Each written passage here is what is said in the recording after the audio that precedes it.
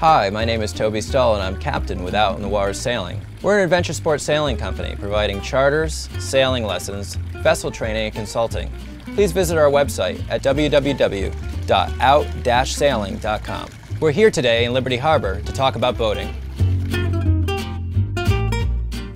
So you've gone sailing and you've gotten the bug.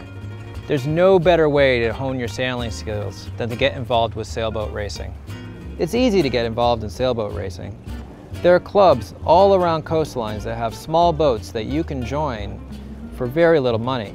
Even with very little experience, you usually get paired up with someone who has a lot of experience and who loves to teach sailing.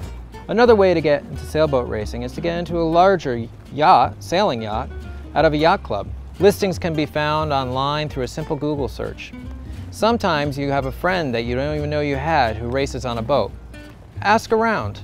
Once you get yourself on a boat, be helpful. Help clean the boat. Help rig the boat.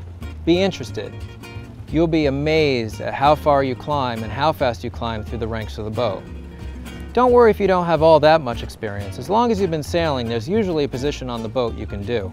And from there, you just go up. It's a blast to go racing. It's the fun way to learn how to sail.